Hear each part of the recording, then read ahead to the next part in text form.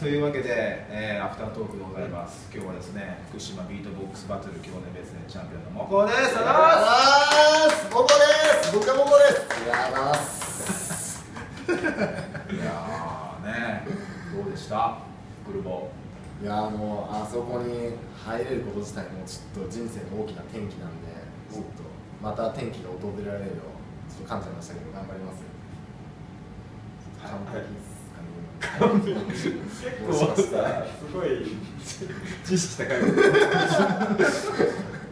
あ今の完璧っすかまあ福島のねバトルのことは、まあ、ラジオで話しましたからそ,、れはそれでなんですけどでもさモコ何歳に見える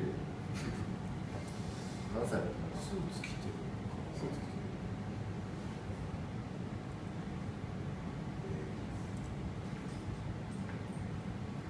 一応あの20代であることはあ20代。で当てに行っていいですか、普通に、23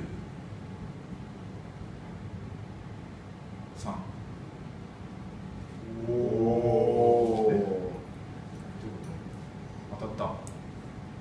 正解です。本当にはい23歳。この間23歳になりました。4月すごい。10日すごい。よく当てなんか大体匂いがた匂い？マジですか？ちょっとよくお風呂入ってます。どういうこと？ぼ僕タカさん何歳に見えますか前で。やっぱり現実的に言うと26ぐらいだね僕違う人にも言われたんで。すよだから僕は26歳なのかなって最近ちょっと思い始めましただと思うけどねどうも26歳で。す全然通じるけどあもう全然嬉しくないんですけど。なんか最近の悩みとかある？悩悩みですか？まあビートボックスでもいいしビートボックスに限らず。そうですね。あの JBC で予選落ちしたことです。一番最近の悩みは、うん、ちょっと重い話なんですけど。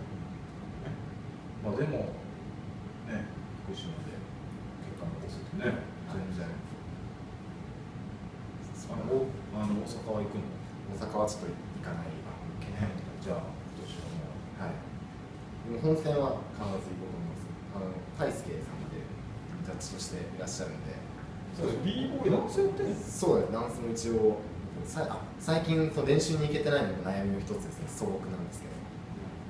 ですねちょっとスマイルはモコのイメージは、まあ、ラジオでも言ったけ面白いパフォーマンスっていうか見せ方が独特だなっていうのとあとすごい好きなのがライブとかビートボックスイベントとか行くといつも前であそういつも前ウでェーって誰よりも盛り上がってその場がこう楽しい感じになるっていう空気作りをやっててすごい俺はいや傍から見てすごいいいなと思ってます。ありがとうございます。これからも。みんな見習ってほしいぐらいのことねじゃあちょっとみんな見習ってください。い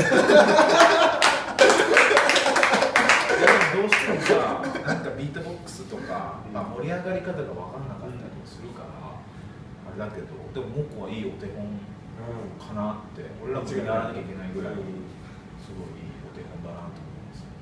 ありがとうございます。恐れ多いです。そんなこといただけるなんて本当にね。嬉しいよね。あの助かる。嬉しい嬉しい。気持ちが。い やこれからもちょっともうこんなに来ます締めたいそうですね。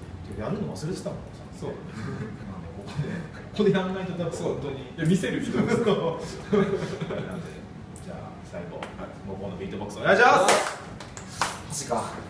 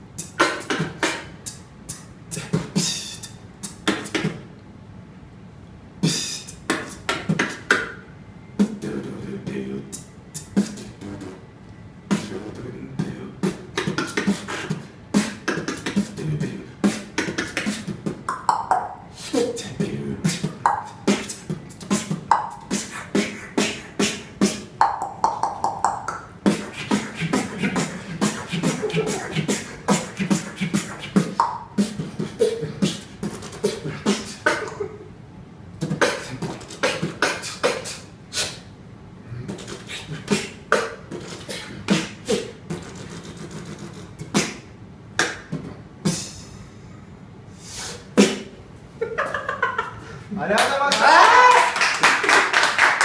というわけで、えーチャンえー、今日のブスのチャンピオンのモコでしたグループボックス毎週火曜日夜8時からやっております。皆さん見てください、はい、おります。